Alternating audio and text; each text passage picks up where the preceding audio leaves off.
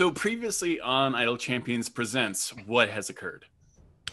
In the first episode, our heroes arrived in Echo Bay for the Fleet's Wake celebration, uh, having been invited by their friend Freely, the lucky halfling. I know you said very plush, but in my mind, Baeloth's got a flying shag carpet down. to relax, enjoy, have a silky smooth and uneventful weekend, even though they knew every time they got together, trouble seemed to kick in, and they found out that there was not only a missing ship called the Muskrat, but several ships had gone missing, and several people had gone missing, and there was odd occurrences like very strong swimmers um, drowning in what should have otherwise been calm seas. Did the were shark bite him? Is he infected? Is he gonna turn? Is he gonna turn? He's gonna turn. I want to see him turn. Turn. Do it. Do it.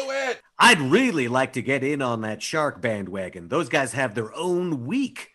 Uh, they went to the Echo Bay crab fighting arena where giant crabs do battle and you place money. Where um, Chestnut and uh, Old Brown, I think, were the names of the crabs, uh, were doing battle. In in the midst of the conflict, they were attacked by a swa- uh, by a flock of abyssal geese, which everyone knows geese are already evil. So abyssal geese are more evil uh, it quickly became clear to everyone that uh, something strange was afoot in Echo Bay. And they found out that a cultist of Umberlee, the Wave Mother, had moved into town and probably had no good intentions for anyone there. They met these cultists and did battle with them. In the in the process of two of their friends were kidnapped by the self same cultists and taken away. Our heroes had to pursue them through a twisting, turning sequence of events that you should watch the show to find out what it was. Thanks to you, the viewers of Idle Champions. You all voted they would be cursed to talk in rhymes. Next time it appears, I'm going to strike it and leave a smear. Bubbles sought to give us piratical enhancement, but it instead has placed us under a enchantment.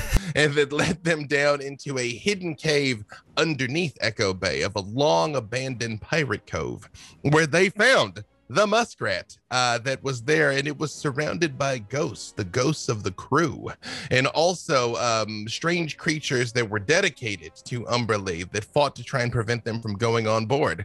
When they got there, the head cultist, a woman by the name of Matron Hoistsail, was in the last finishing moments of a summoning ritual that was going to bring an avatar of Umberlee forward that would allow her to rule the Sword Coast for years to come. She attempted to release the Kraken.